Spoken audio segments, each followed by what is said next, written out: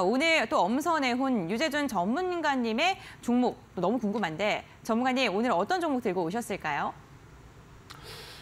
네, 오늘은 어, 여러분들이 안정적이고 그리고 많은 분들이 또 공략할 수 있는 어, 좀 대형주 기준에서 어, 네. 종목을 좀 잡아왔는데 어, 먼저 오늘 오늘 기준에서 조선주들이 좀 좋은 전체적으로 좋은 흐름을 좀 보이면서 어, 아무래도 조선주들에 대한 향후에 향후의 뭐 실적 그리고 성장성 이런 부분들이 상당히 긍정적이기 때문에 오늘 조선주 중에서 한 종목을 좀 픽해왔는데 어, 여러분들이 좀 잘 알고 계신 종목이죠. 어, 한국 조선해양 어, 대형주 기준에서 상당히 음, 좋은 흐름을 또 기대해 볼 수 있고 무겁지만 강하게 갈 수도 있다라고 먼저 말씀을 좀 드리도록 할게요. 그래서 지금 2차 전지 쪽에서 수급이 빠지면서 이런 조선주들이 반등을 보이고 있다라고 또 예상을 한다면은 아무래도 추가적인 반등을 또 기대해 볼 수 있겠죠. 그래서 조선주의 업황 상당히 시장에서는 좀 긍정적으로 보고 있습니다. 그래서 향후 3년간 안정적인 실적이 이어질 가능성이 높다라고 이렇게 말하고 있는데 지금 미리 수주가 어, 이미 다 예상이 돼 있고 그리고 예약이 돼 있기 때문에 향후에 실적이 이미 거의 다 정해져 있다라고 볼 수가 있겠죠. 그래서 컨센서스 기준에서 뭐 2025년까지 컨센서스가 실제 예상 수익으로 발생될 가능성이 높다라고 이렇게 볼 수가 있겠습니다. 그래서 실적 기준에서는 어, 상당히 좋은 흐름을 기대해 볼 수 있다라고 말씀을 드리, 드리도록 하고 그리고 기술적 차트 차트에서 좀 볼 수 있는 거를 좀 말씀을 드리면은 최근에 최근에 이제 공, 어, 거래 대금이 상, 거래 대금 상환이 계속 이루어지면서 대차 거래 상환이 꾸준하게 또 이어지는 부분들 상당히 긍정적이다라고 볼 수가 있겠죠. 그래서 아무래도 어, 큰 손들의 대차 거래 상환이 꾸준하게 이어지고 있다. 이런 부분들은 주가가 바닥일 가능성이 높다라고 또 예상을 해볼 수가 있겠죠. 그래서 지금 간단하게만 말씀드리면 3월 뭐 16일부터 해서 4월 11일까지 추가적으로 대차 거래 상환이 꾸준하게 이어지면서 지금 금액 기준에서도 상당히 큰 금액이 상환이 되고 있다라는 것을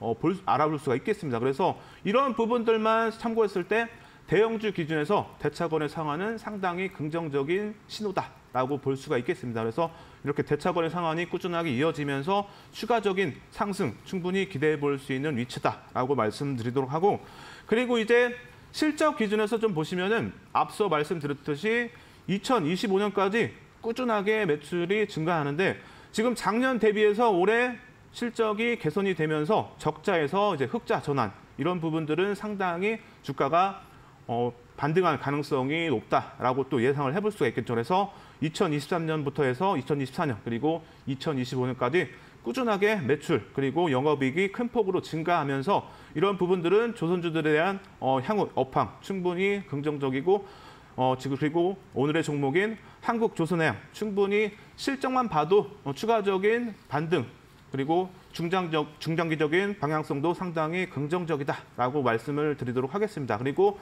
뭐 차트 기준에서 보시면은 일본 기준에서 상당히 지금 크게 흐름은 나오진 않았죠. 그렇다면은 반등이 나온다면 더 크게 또 나올 수가 있겠죠. 그래서 가격적인 면 기준에서는 지금 의미 있는 가격은 대략적으로 이제 7만 8천 원 정도.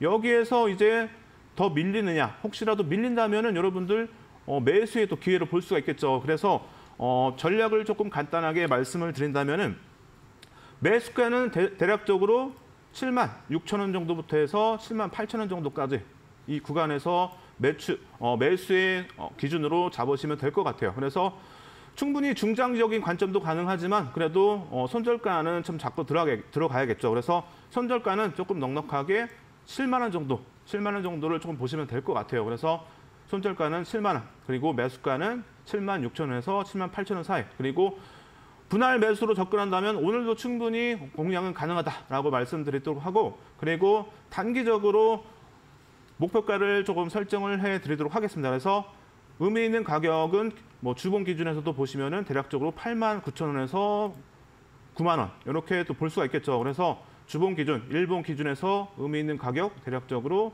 8만 원에서 아, 8만 9천 원에서 9만 원 사이 정도. 이 정도를 단기적으로 이제 목표가를 잡고 대응을 좀 하시면 될 것 같고 뭐 월봉 기준에서는 더 길게 볼 수도 있겠죠. 그래서 월봉 기준에서는 뭐 10만 원까지도 충분히 기대해 볼 수 있기 때문에 뭐 추가적인 전략 그리고 혹시라도 목표가에 도달한다면은 여기서부터 이제 뭐 10만 원까지도 더 볼 수 있을 것 같아요. 그래서 한국조선해양 충분히 단기적인 관점도 양호하지만 추가적으로 중장기인 관점도 충분히 양호하기 때문에 더 길게 보셔도 된다라고 말씀을 드리도록 하겠습니다.